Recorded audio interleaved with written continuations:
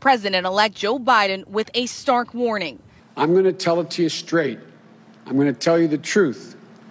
And here's the simple truth our darkest days in the battle against COVID are ahead of us, not behind us. Biden telling Americans the upcoming holidays will once again look a lot different for his family, too, saying there is no time to waste in taking steps to turn the crisis around, outlining the challenges he will face on his first day in office, now just four weeks away. The president elect was asked if after inauguration he expects any type of honeymoon from Congress. I don't think it's a honeymoon at all. I think it's a nightmare that everybody's going through, and they all say it's got to end.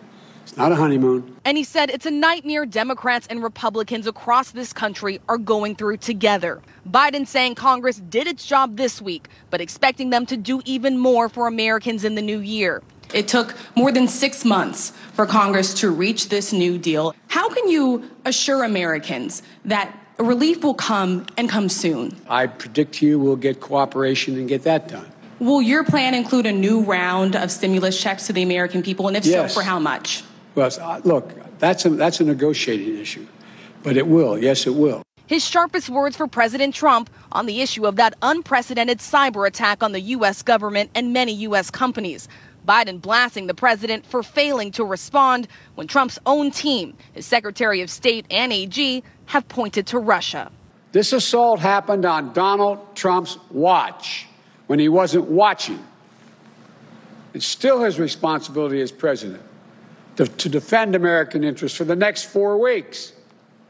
But rest assured that even if he does not take it seriously, I will. Let's get right to Rachel. Rachel, you were on the air with me this afternoon as we watched the president elect Joe Biden putting pressure on the current president to single out Russia in this massive cyber attack, also pledging to get more COVID relief to the American people after inauguration, saying that what we saw this week is just a start.